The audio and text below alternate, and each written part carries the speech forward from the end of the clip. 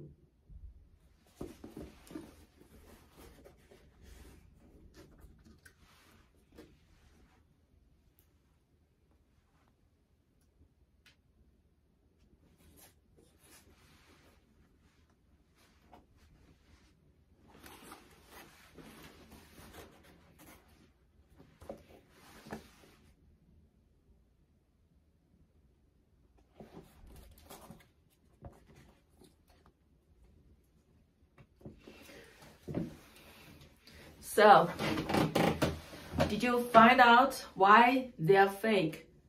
Hope you can tell me by the comment. Thank you.